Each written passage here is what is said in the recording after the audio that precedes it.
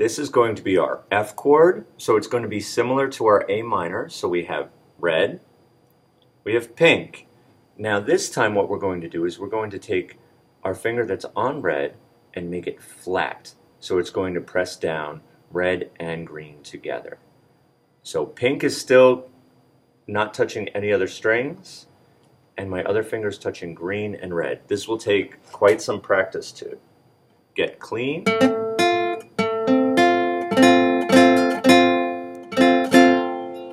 Here we go.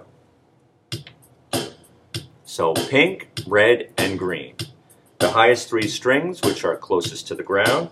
One, two, and begin. One, two,